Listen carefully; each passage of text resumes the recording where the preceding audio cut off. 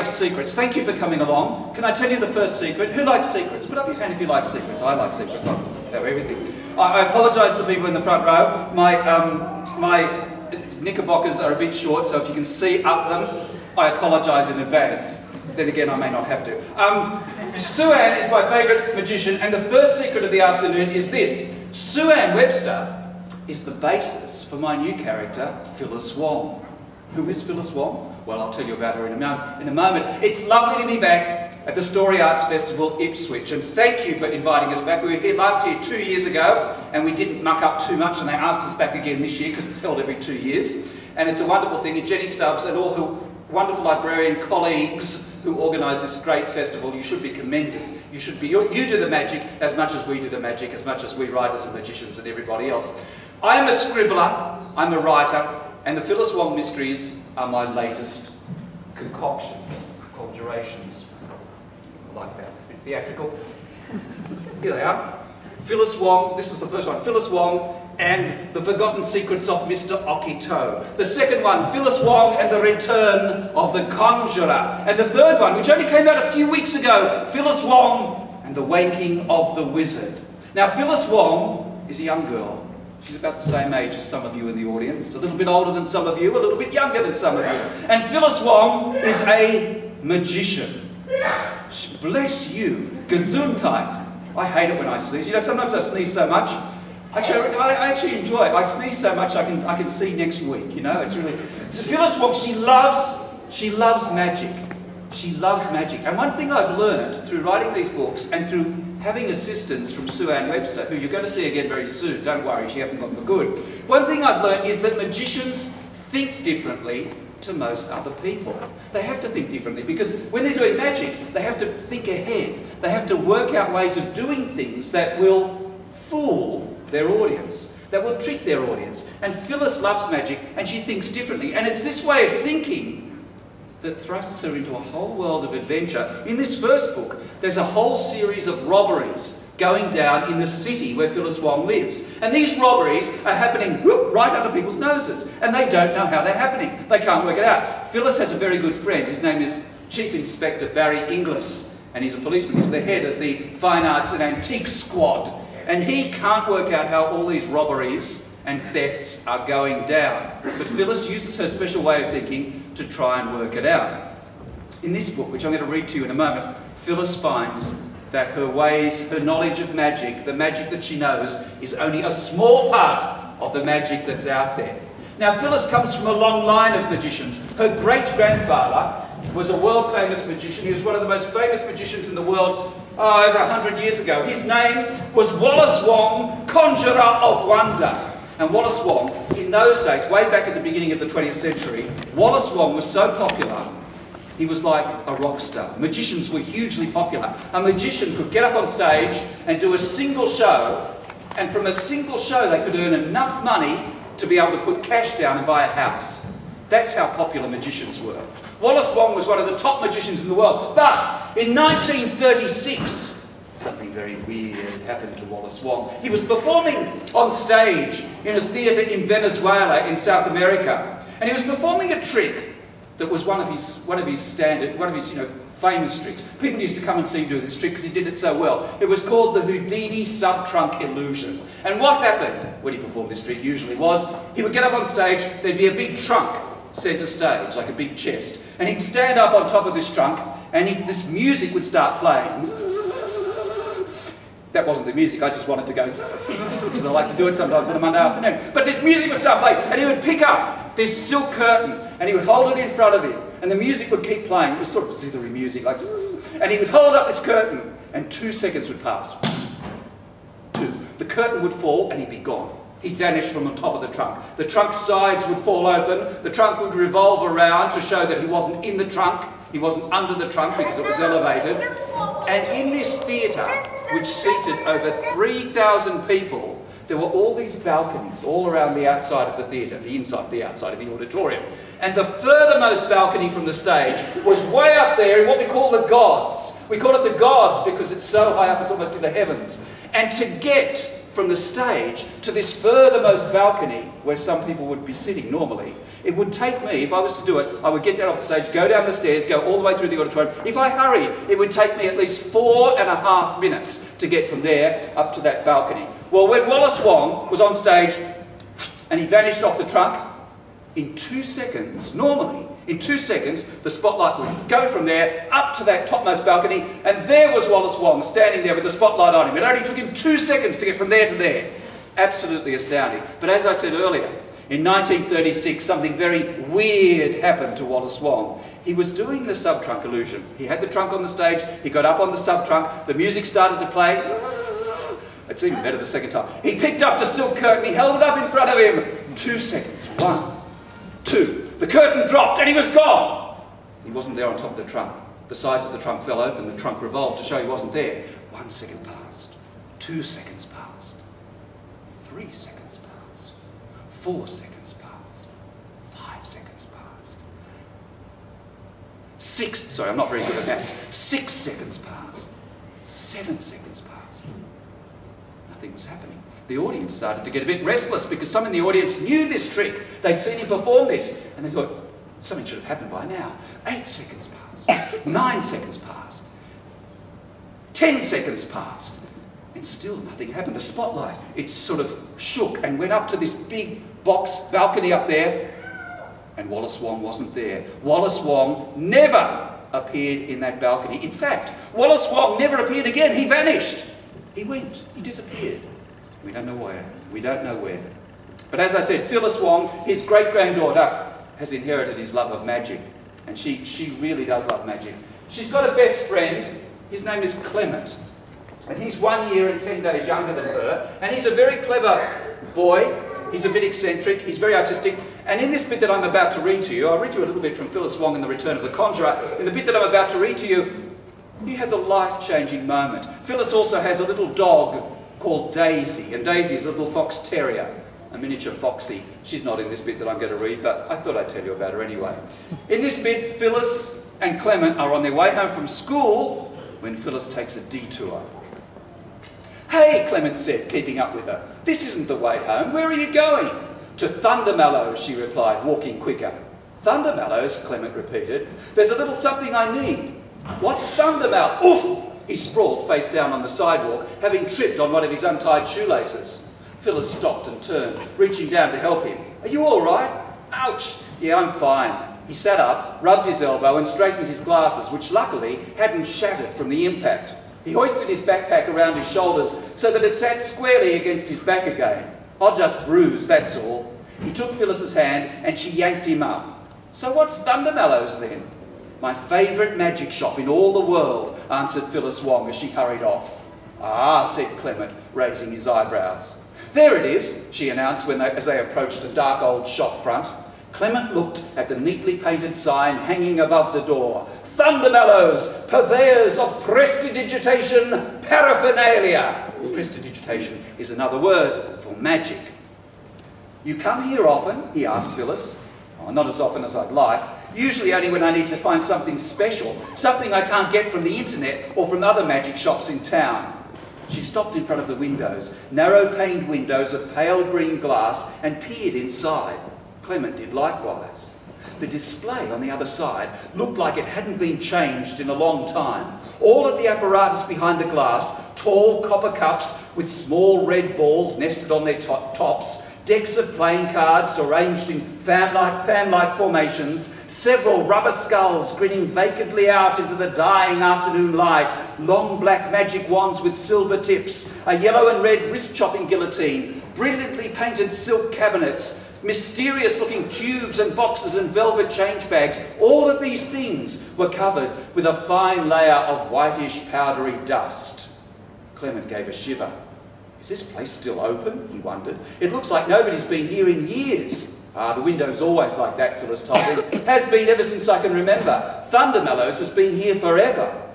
If forever had been since 1907, Phyllis's statement would have been perfectly accurate. That was the year the shop had opened, and it had always been owned by a Thundermellow. In fact, the founder of the business, Thurston Thundermellow, had known Wallace Wong way back in the early decades of the 20th century.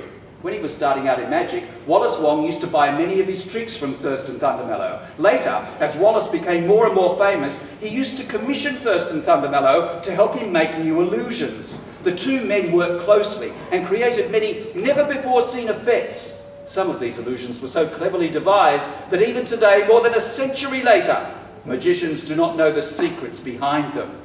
Come on, said Phyllis, opening the door. Clement watched her disappear inside. He waited for a moment. For some reason, he felt a bit strange about following her. It seemed like this was her world, and he felt apprehensive about intruding. Then she poked her head out of the doorway and raised her eyebrows at him. You coming or not? she grinned. Sure. He smiled back at her, then pushed his glasses further up his nose and went in. Inside Thundermellows, everything was dim.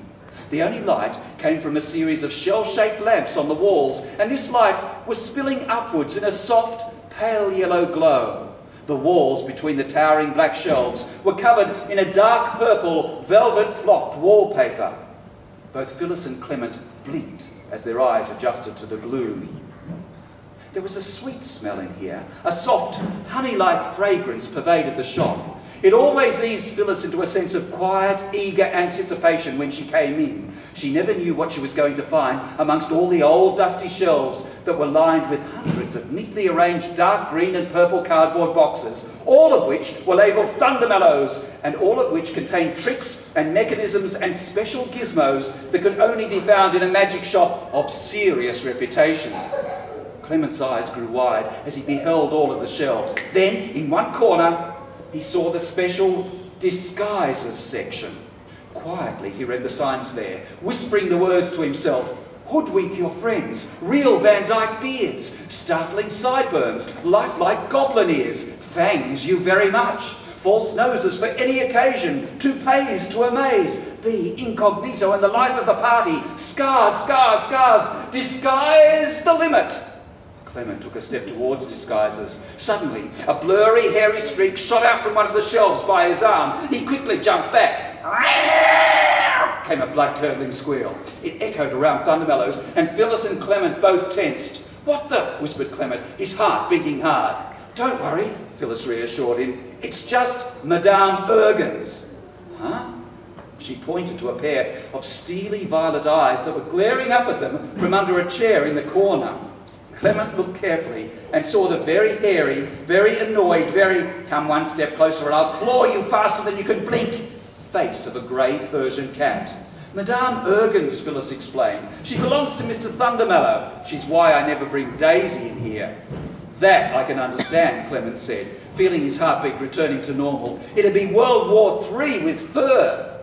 Ah, Phyllis Wong. Welcome back to Thundermellows. Phyllis and Clement turned. There, standing before a deep burgundy velvet curtain, was a shortish, plump gentleman with shining violet eyes. The top of the man's head was bald and pink, and on the sides, above his ears, there sprouted a thick band of curly white hair. He was dressed in a smart three-piece suit of dark maroon, maroon, maroon even, and the collar and cuffs of his coat were black velvet. Hello, Mr. Thundermellow, said Phyllis, giving him a big smile. He always looked so cheery, and every time she saw him again, after not seeing him for a while, Phyllis got the feeling that he was the sort of person who never let the cares of the world bother one little curly white hair on the sides of his head. And how is my favourite young magician, the most practised prestidigitator, the cleverest conjurer, the legerdemainest most likely to learn the languishing legendary secrets of our noble profession? Hmm, yes, indeed. Phyllis blushed at all the compliments. I'm swell, thanks. Aha, said Mr. Thundermellow, still speaking as though you're in one of your great-grandfather's movies, I see. You are a breath of the freshest air, always have been. His eyes travelled beyond her shoulder. And who might this be? Mm, yes, indeed. Phyllis grabbed Clement's arm and brought him forward. This is my friend, Clem. I hope you don't mind, mind me bringing him in. Any friend of Phyllis Wong is welcome here. The cheery man extended his pink hand. Aubrey Thundermellow, pleased to make your acquaintance, Clem. Clement wiped his hand on the front of his sweater and then shook Aubrey Thundermellow's hand. Nice to meet you, he said. I hear you've already chanced upon Madame Ergens, said Mr. Thundermellow, glimpsing the grumpy cat under the chair. He has, said Phyllis. She nearly scratched my arm clean off, Clement said. Mr. Thundermellow smiled. Ah, she's a good cat, really, under all that hair. She just gets a little temperamental now and then. Poor old thing. She's never been the same since she encountered the exploding mice.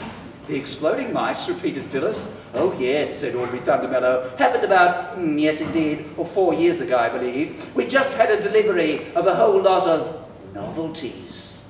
When he said novelties, he hunched his shoulders up close to his ears, raised his eyebrows, and gave Phyllis and Clement a half sideways look. The same sort of look a boy might give if he were just about to suggest doing something a little bit naughty. Boxes and boxes from the Blurtatious Novelty Company in Shanghai, he continued. At that time, the Blurtatious Novelty Company made the best things, the quality second to none. Uh, but apparently there was some unrest at the factory that we didn't know about. Seems like hundreds of workers were about to be laid off, and they weren't at all happy about it. And apparently some of the more upset ones decided to take revenge on the Blurtatious Novelty Company, so they switched around the mechanisms of some of the products. And of course, we had no idea this had happened. We opened up one of the boxes of what we thought were blurtatious clockwork mice, beautiful little spotted creatures made of tin, with whiskers that really twitched when the mice scuttled across the floor, and we wound them up, ooh, maybe about a dozen of them, mm, yes indeed. And then, just as they started scuttling around in circles in every which way across the shop, one after another, boom, kapam, wapow! They all blew up, exploding all over the place. And poor Madame Ergens, who up until that time had been a cat of great and purring placidness, all at once became the cat from the underworld. Weird, said Phyllis. Well, said Aubrey Thundermellow went on, we didn't know the half of it at the time. We un unpacked the other boxes and happily sold the rest of the items. It was only a few months later that we started hearing from customers whose exploding cigars that they had given to their friends hadn't exploded at all, but had started trying to scuttle up their friends' nostrils in a twitching manner. Most strange and uncomfortable for their friends. We had to give a lot of refunds. Mm, yes, indeed. Clement smirked. Mr. Thundermellow clapped his hands once and rubbed his palms together. But enough chatter of errant whimsicalities. Uh, what can I do for you today, Phyllis? Well, she answered, I'm after something special. Special, repeated Mr. Thundermellow, leaning closer. Phyllis nodded. Then she looked across at Clem and back to Mr. Thundermellow. He immediately understood, so he gave a quick wink and called out, Miss Hipwinkle, would you kindly attend to this customer, please? A short silence followed. Clement glanced at Phyllis and she smiled at him. Then, from out of the shadows, there emerged a young woman with pale skin and jet black hair and dark orchid-coloured lipstick. Her extra long eyelashes were as dark as her hair and her eyes were almost as black. Certainly, Mr. Thundermellow, said the young woman, her voice seeming to seep into the shop like thick honey sliding down the side of a honey pot. She turned her head slowly as though she were in a dream and gave Clement a piercing look, her dark eyes big. Clement couldn't help staring at her. There was something about the black dress she was wearing and the languorous way she spoke and those big unblinking eyes that made her seem to be floating in the space before him. Um, um, well, over there. He turned his head towards disguisers, but kept his eyes firmly fixed on Miss Hipwinkle. She watched him unblinkingly, as though she were trying to decide whether he should be allowed near the disguisers section and all the secrets it contained. Then her eyes seemed to become darker. She raised a pale hand, curled her index finger, and beckoned him over. Phyllis watched him following her, as though he were in a trance. So, Mr. Thundermellow said when they had left, Something special you mentioned. And she did indeed. And she does indeed get something special from Mr. Thundermellow, something that she uses in a magic trick in the school playground for one of her best friend's birthdays. But this something special goes horribly wrong. And it means that Phyllis Wong, that wonderful magician, is thrust into a world where she discovers a whole bigger lot of magic that continues through these stories. And can I tell you the second secret of the day? Would you like to hear the second secret of the day? Yes. Yes, oh good. I have just finished the fourth, writing the fourth mystery, and it's called Phyllis Wong and the Pockets of the Shadows. And it's with the publisher at the moment, and hopefully we'll be seeing that sometime early next year. But enough chatter of errant whimsicalities, as Mr. Thundermellow said. I told you before, I learned that magicians think differently to other people, and I learned that through meeting my favourite magician, Sue Anne Webster. And Sue Anne has agreed to be here today to perform some of the magic that Phyllis Wong performs in these stories, and some of the magic you're going to see, Sue Anne has actually invented herself, because great magicians invent their own tricks as well as doing other sorts of tricks too. Now Sue Anne is the first trick she's going to do for you this afternoon is a trick, a very old trick, it's a classic and it was actually performed way back by Wallace Wong, Conjurer of Wonder. Sue Anne is going to re-perform it, recreate it today, but before I came out here, she told me something. She told me she liked my beard. No, she told me something. She told me she left something behind, something she needs to do this trick. And that something is something beginning with the letter V. Can anyone tell me what that something might be? Yes, the boy there. Uh, I've got the, it's the name of the tiara, but it's a sort of ball, velvet ball. No, but if you'd said volunteer, you would have been correct. Did I you say volunteer? Say it again. What does she need? A volunteer. What's your name?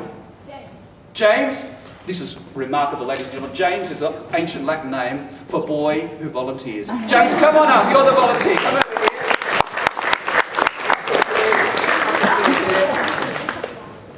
Where James disappears forever. now, come on out here. This way. Come in. Stand here, James. Stand just, just here. Right here. Turn face the audience. Do you have life insurance? Okay, don't worry. It's your, has your head ever been removed from your neck and replaced? Oh, well, that's not going to happen today. But I want you to stand there. I want you to do exactly what the magician tells you to do. Okay, you're going to assist her as her assistant, volunteer assistant. Nice to meet you, by the way. I forgot to shake your hand. Very nice. Oh, he's got a firm handshake. He's going to be a good volunteer for this trick. Ladies and gentlemen, this is James. I want you to put your hands together. Give a warm welcome to my favourite magician, one of the leading ladies of magic in the world, Sue Anne Webster.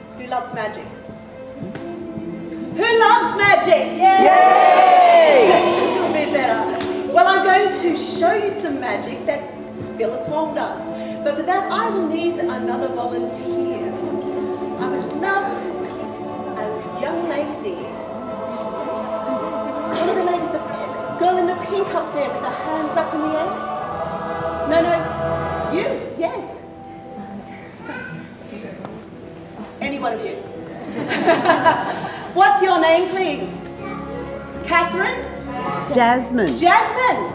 Give Jasmine a big round of applause. Just up the stairs here, good girl. Thank you so much for joining us, Jasmine. Jasmine, we're going to explain something to the audience. It's something that Phyllis Wong does. Stand over here, please. Just all the way over here. Now, Phyllis transits through time and over long distances sometimes. And we're going to show the audience how she does that. Just a visual, sort of, you know, just to explain a little bit how it's all done. This is something that Wallace Wong, conjurer of wonder, Philip Wong's great-grandfather used back in the 1920s. He was the one who discovered the time travel, transiting. Here we have something that we're going to call a time pocket.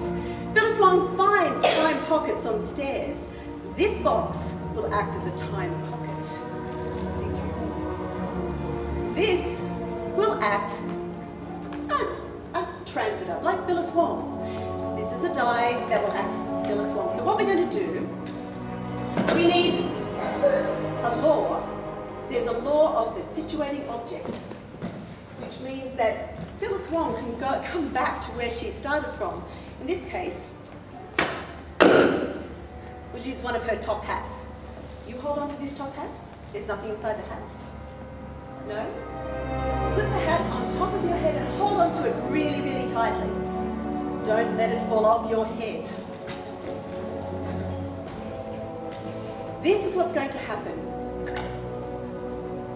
The die will transit through a time pocket all the way over to where you are, right here, just like that. But it's not going to happen visibly. It's going to happen invisibly.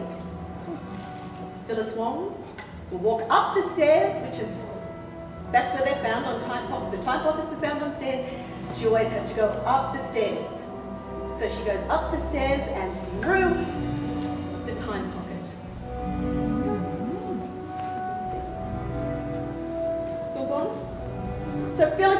traveling through the air, traveling through time and distance and space, and land right back to where she came from. Huh. Did you feel anything? No? Do you want to take the hat down and carefully pull out what you see inside? Give Jasmine a big round of applause. That's wonderful. Give her another round of applause. I would like to show you something very, very Just make sure she gets down those stairs. Good. This is another illusion that Wallace Wong performed back in the 1930s, just before he vanished on stage. It's a beautiful illusion. It was one of his favorites, and it's also one of mine.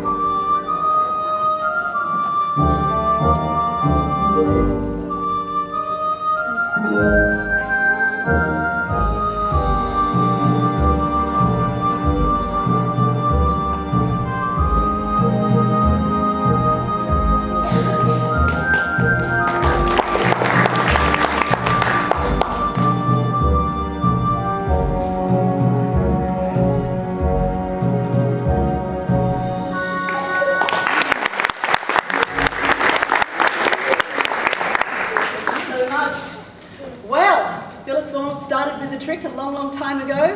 Who would like to learn to be a magician? You excited? Yes? One young lady for, I will get another fellow, I can always choose an older person maybe. What's your name, please? Lara. Give Lara a big round of applause. Thank you so much for joining us, Lara. Have you ever done magic before? No. This is your chance. Yes. now, a lot of magicians have magical names. We have, you know, we have Carter the Great and Thurston the Incredible, and who else? We have Super Steph. Have you ever heard of Super Steph? Oh, well, you will. She's a wonderful magician around Brisbane. So, you can be Lara the Magnificent. Yeah. Lara the Magnificent. Lara, I'm so glad you've come to do this. Come over here, right under this little light here. That's right. There's no trapdoor or anything like that. So, Lara, have you played with cards before? Yes. You have? And you've done no magic before, is that correct? Oh, well, that's okay. That's a good start. You wait till you see this. Um, could I have, would you like to come and take hold of this package, please, and inspect it and hold on to it carefully for me? Okay? Look inside it, see that there's nothing in there. Ah, what's your sister's name? Emily. Thank you, Emily. Lara. As Lara can see, there's blue back cards and all cards are different. Do you know, since you've been playing with cards, do you know how to cut a deck? Know how to cut the deck? Take it. Yes, good. This is a very big deck. That's because it's all those people have got to see what you're able to do here. Just take, cut the deck, just take a block of cards, if you would. Now, because this is your magic, would you like that half of the deck or this half of the deck? It's your choice completely. Okay. Thank you so much. Now, if you would be so kind, just choose a card, any card you like. Any card. That's a good card. Show it around to your audience with flair and finesse.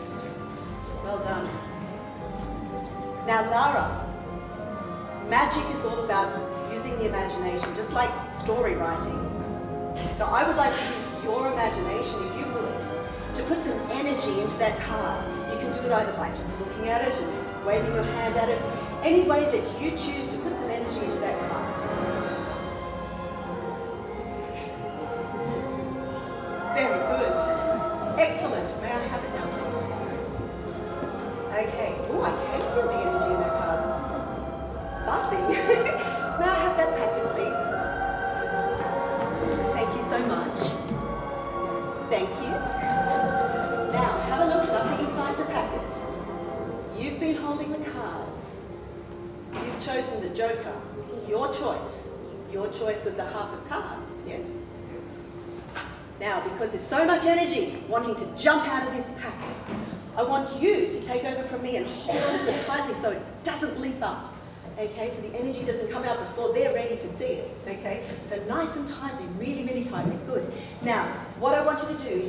wait until the count of three, because that's when their minds are going to be ready for what you're going to perform. Emily. Lara, the Magnificent. Sorry, that was just That's Emily, the incredible. Lara, the Magnificent. All right, are you ready? After the count of three, hold on to it tightly. After the count of three, I want you to relax and let the energy flow through that packet, okay? That card that you put the energy into. Are you ready? Yes. One, two, three.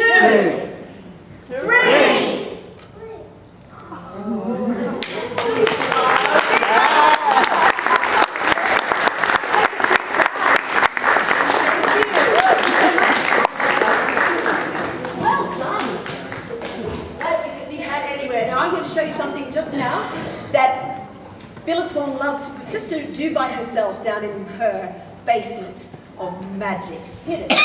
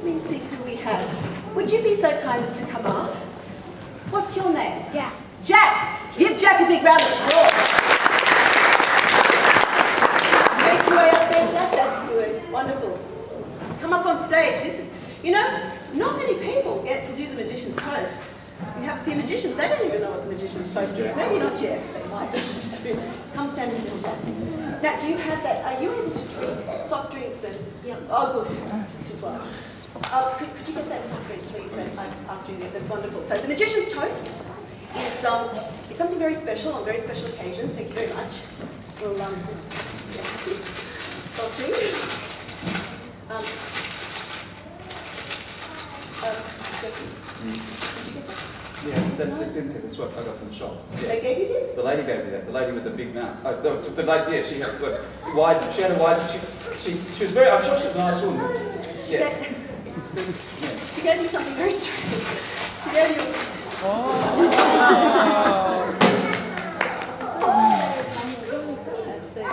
Well, you don't see that every day, do you? Just a little bit big for a soft drink, isn't it? Um, could, could you just take that, please? Um, thanks. Uh, let me see what we have. Um, soft drink. Um, well, we're in Thunder Mallows. I guess we could make something appear here. Yeah, I, yes. This will do. Ah, yes. Let's see if I can do this. Just imagine the soft drink of your choice. Just in your mind, imagine it and, and, and, and, and just imagine bringing it to reality. Just wave your hands across the box, say a magic word, and just bring, materialize that soft drink. Magic word, Jack. Say magic Al word. presto.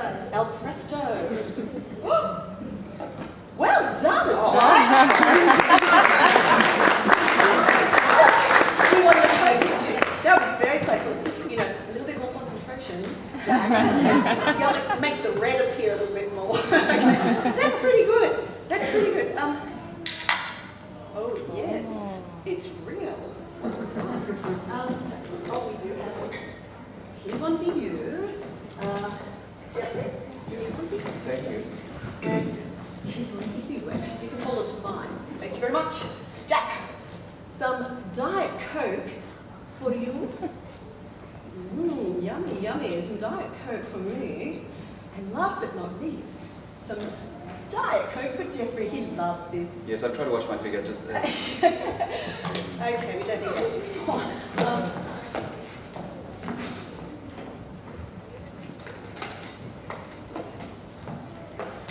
Thank you so much. Okay, the magician's toast. Oh, Jack, I must warn you that um, you need to do everything I do, and nothing will go wrong. Everything I do, and everything will be all right. Are you ready? The Magician's Toast to Story Arts Festival Ipswich and to Phyllis Wong and the Waking of the Wizard. to Story Arts Festival Ipswich. You got that, Jack? To Story Arts Festival Ipswich and Phyllis Wong and the Wait. Waking of the Wizard. A toast.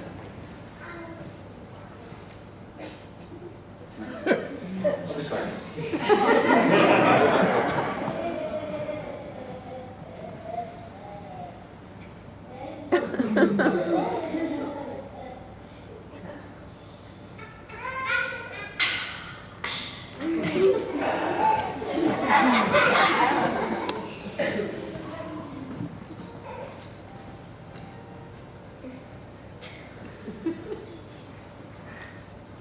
This is very hard with pantaloons.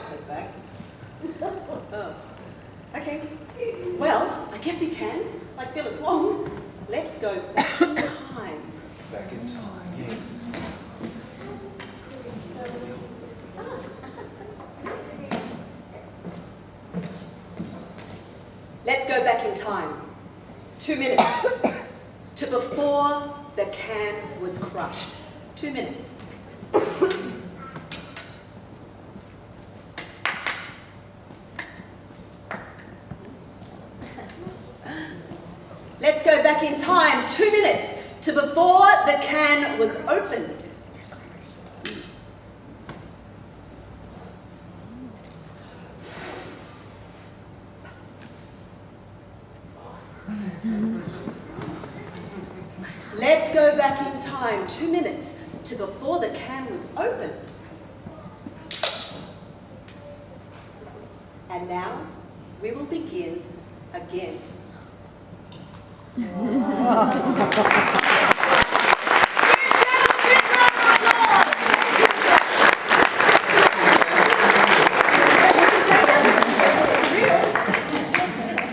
Oh, wait, wait, Dad, Dad.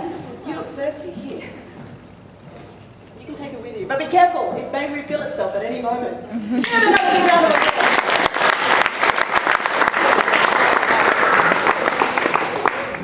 You should hear when there's a lot of schools here.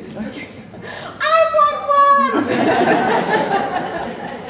I'm going to show you something now, very special again, another, another Wallace Wong illusion. It's something, as, as you know, that he's discovered transiting through time and over distance. And to illustrate this, this is one of his favourite tricks as well because it is an illusion of transposition. You need to watch very carefully, as you always need to watch a magician very carefully. You need to watch where objects go. They end up, they move from one place to another. You have checkers,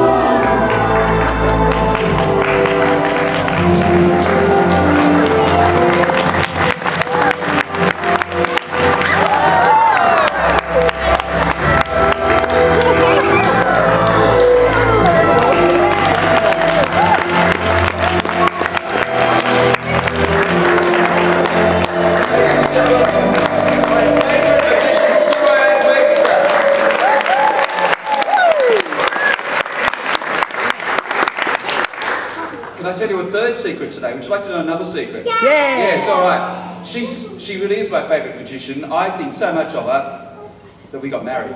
yeah, she's my, she's my special magician. She's really magic, I tell you what. Um, I, I mean, yeah, the nicest. But anyway, we're gonna, we've got some time for questions now. If anyone's got any questions they'd like to ask, can you put up your hand and ask questions in a loud voice? You can ask questions to me about writing, about the Phyllis Wong books, about why I'm dressed like this, whatever. Or you can ask questions to Sue Anne about magic. There is one question, however, that a magician will never answer, and that is, how did you do that trick?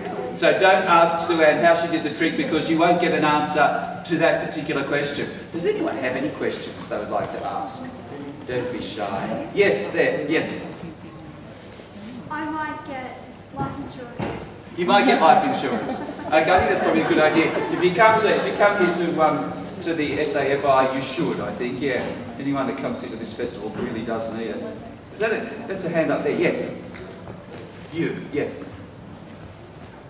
Yes, you. Sorry. Yeah. I ca- can't see you very well in the darkness. Yes. do this. Zach here wants to know if the books need to be um, read in order. Do the books need to be read in order? No, they don't, because even the first one, Phyllis Wong, thank you.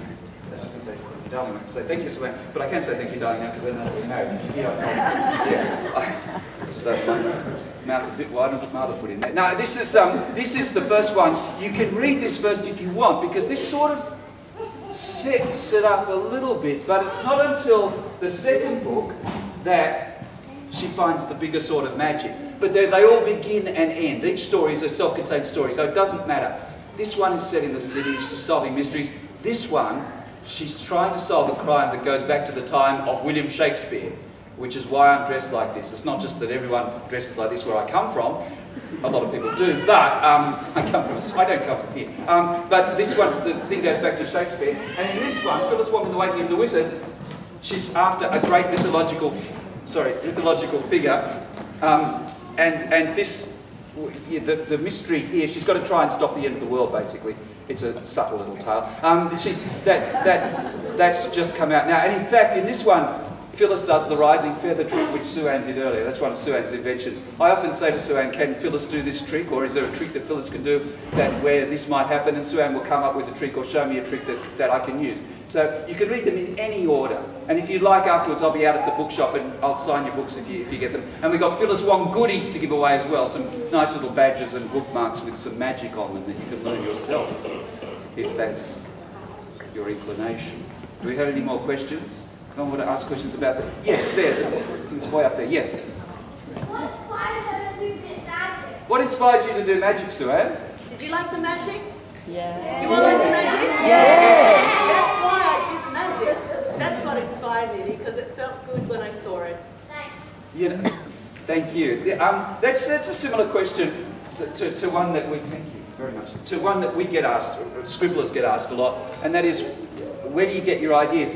And, and I think one of the things that magic and writing have in common is that we use our imaginations to create, and to create a world for our audience or a world for our readers. The imagination is so important. In fact, let's show them some imagination. I'm going to show you a little bit of imagination. If you'll bear with me, I'm going to extract a bit out of my head. It might get messy, but people in the front row, dry cleaning will take it out if it splatters. And Jenny Stubbs, you've seen this before, and I think you've survived. There is a bit of my imagination. Can you see that? No. Use your imagination you'll see it. Here it is, just there. there it, oh, there it is. Now it's coming.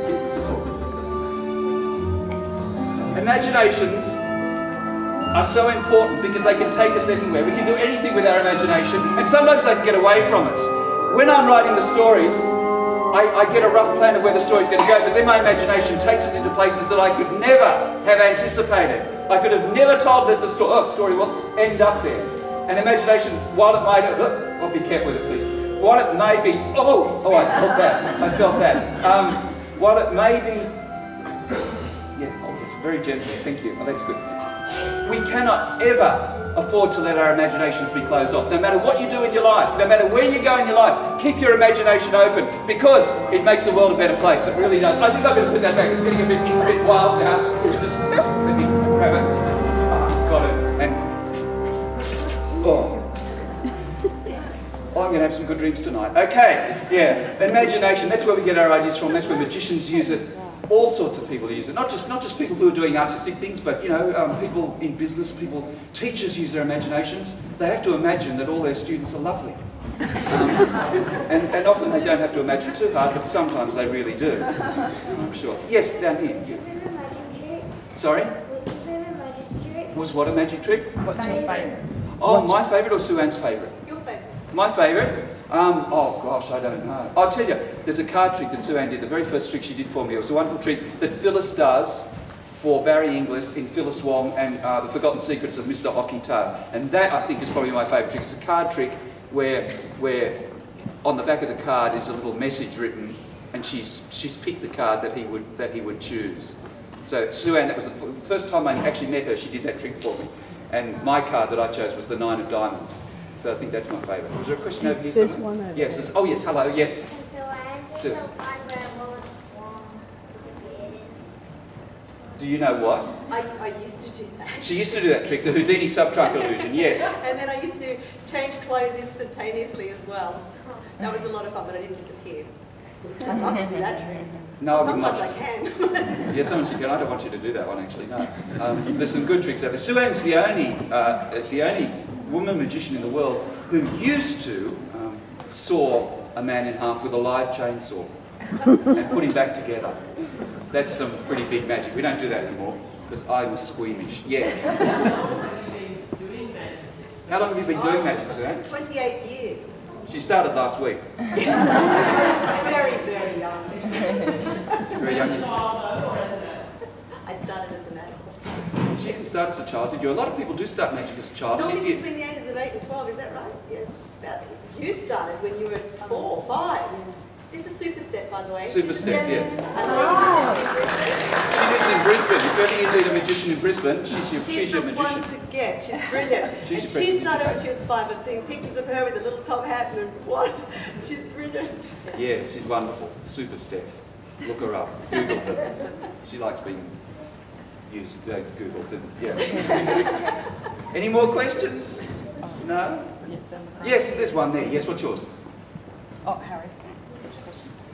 I think Yes. magicians Yes. can do magic because they're always magic. That's that's a lovely. That's very very well. He thinks magicians can do magic because they're always magic, and I'll tell you that's that's with this with this person, she is always magic. Yeah, everything she does is magic. I think there's one last question at the back. One last question at the back. I'm sorry, where was it? Where was it? Yes. Yes, you. Yes, you. Yes, you. You who turned around. Yes. Um, I once done when I was a cat home. What? Sorry, can you say it again? I hit a locked door about a handle of it was locked. And you couldn't get in, or you could get in. I couldn't get out. I, I opened it by pulling it for a while. Yeah. You're brilliant. How, and that's why you're here because you, you, you managed to get out. Yes. We'll have to teach you a few tricks. We'll teach you a few tricks, yeah. Thank you for sharing that. That was wonderful to know. See, there's hope. If you get locked in and the handle comes off a door, you can get out and come here. It's good to know. We'd like to say thank you. Oh, we've got a question over here. Yes, hello. Yes, you. Uh, you Oh, you got a microphone. Do you like to, do you like other magicians? Do I like other magicians? I like that one. Oh, did you asked me Sue Anne. Yeah, no, like different ones. Do you, yeah, who do you like, other magicians? Oh, I love Penn and Teller. I love Super Steph. Yeah. I love Penn and Teller. I love Mac King. Those two are American. I love the Flicking Fingers from Germany. There's 10, 10 oh, there's actually technically 11 magicians that get together and they all work together and they're really fabulous. Yeah. There's oh, lots of magicians all over. Boris Wild, David Stone, they're from France. There's lots of magicians I love. They're lots of fun too. Mm. And seeing magic live is a great thing. When you see magic live, it really, it really takes on a new thing. Yes, that boy up there. Yes, that's a boy. I can't see. You're a girl. I'm sorry. It's it's the lighting. It's not you. You look wonderful. Yes. Loud voice. Oh, we got a microphone. There you go. Did you get some of your tricks magicians? Yes, I did. I get it. The magicians get, they, they find their tricks in books that you can get from the library. That's where you can all start. Some schools have magic trick books as well. And we go to conventions and we go to magic shops and we have friends that make things up themselves as well and we buy and we sell and we trade and we do all sorts of things that other people do. but we um, but it's all, all magical tricks. It can be coins and balls and all sorts of things. But yes, I get them from other magicians as well. And last question, person in the red shirt. Yes. We've got a microphone coming, so you talk into that and everyone will hear. That's Can you great. pull a, a rabbit out of a hat? She can pull rabbits out of the hat, but we didn't. We left the rabbits at home on this trip because we don't come from here. I come from a land where people dress like this. And those rabbits aren't exactly alike though. They're, well, they're not. No, they're not live rabbits. Although if you see YouTube on Phyllis Wong and the Waking of the Wizard, there's one book trailer that has as close a rabbit as we're going to get. yes, have a look at the book trailers for Phyllis Wong and the of the Wizard. I can fit six rabbits down these trousers. They're really. It's a. It's a fun way to travel. I can tell you that. Especially on Qantas. We want to say thank you for being such a great, great group. Thank you SAFI for having us here again. And I hope you enjoy the festival. There's more to come after us, of course. Um, and happy reading. Happy reading. Find the magic. Have a great time. Thank you very much.